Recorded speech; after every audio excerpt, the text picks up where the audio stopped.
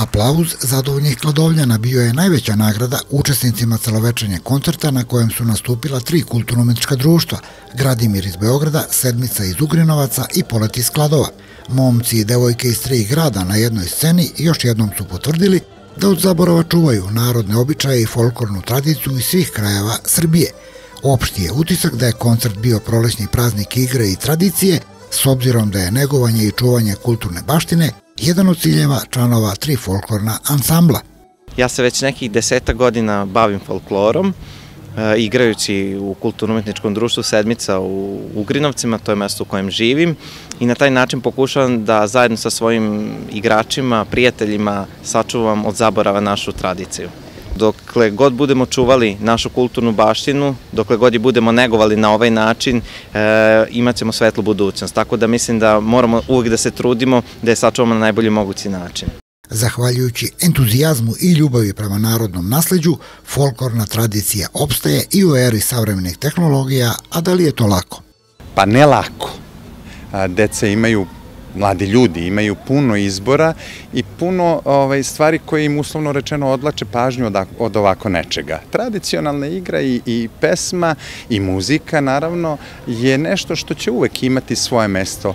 Je, sa jednom sinusoidom što bi se reklo, sa malim ono, oscilacijama, ali će uvek imati. Nije lako, ali naravno ne odustajemo nikada moj zadatak i mislim da je zadatak svih nas koji radimo s mladim ljudima u kulturno-umetničkim društvima je e, prvo da im prenesemo ono što smo mi naučili od drugih.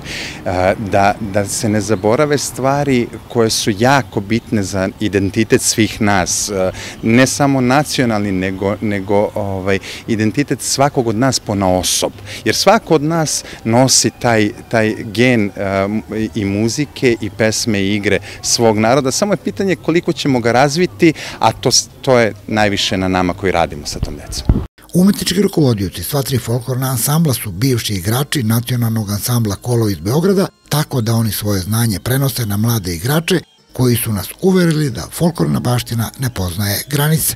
Pa svima je poznato da je naš umetnički rukovodilac bivši igrač ansambla Kolo Miroslav Marković. On je i dalje u kontaktu sa svojim kolegama iz Kola. To su kolege iz Kuda Gradimir i sedmice iz Ugrinovaca. Tako su došli na saradnju da svoje igračko umeće koji su stekli u ansamblu Kolo i pedagoško znanje prenose na decu i to su večeras i pokazali i pokazat će njihovi ansambli kako su to izveli.